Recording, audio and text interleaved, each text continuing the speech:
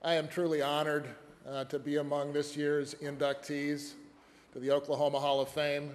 You know, the Hall of Fame showcases the very best values of our state, and it's humbling to be con- counted alongside the men and women who are distinguished leaders and bright talents. Thank you to my children who are here with us tonight, and to my wife, Peggy, who has been my greatest asset and partner, a true inspiration, and a fantastic advocate and ambassador for the University of Tulsa. Thank you again for this wonderful honor, and congratulations to all of my fellow inductees. Thank you.